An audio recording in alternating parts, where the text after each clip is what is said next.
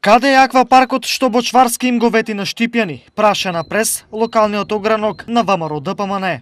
Ако градоначалникот мисли дека ќе се извлече со оправдувањето дека се подготвува документацијата за истиот, се лаже. Граганите ја почувствуваат лицемерноста на политиката на СДСМ. Тоа се докажа во првиот круг на председателските избори, тоа се докажа и минатата ноќ на нивниот така наречен митинг со не повеќе од 300 луѓе.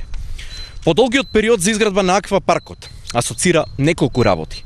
Или ќе биде невиден во Европа и пошироко, или ќе биде наполнет со солена вода од тешко достапно море. Или најлогичното прашање, дали градоначалникот воопшто располага со капацитет за изградба на спортско-рекреативниот центар Суитлак. Го повикуваме да одговори новие прашања, да соопшти на јавноста до каде е со трите базени и топогани.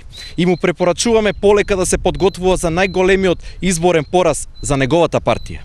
Затоа што очигледно бродот на СДСМ тоне, но не во аква паркот кој не постои, туку на политичката сцена во нашава држава. На ова реагира од Обштина Штип со писмено сообщение. Ги информираме граѓаните дека општина Штип има изработено проектна документација за изградба на спортско-рекреативен центар Суитлак со нови фудбалски игралишта, помошни простории за игралишта со обликувални, теретана, спа центар со обликувални за посетители, ресторан и базен.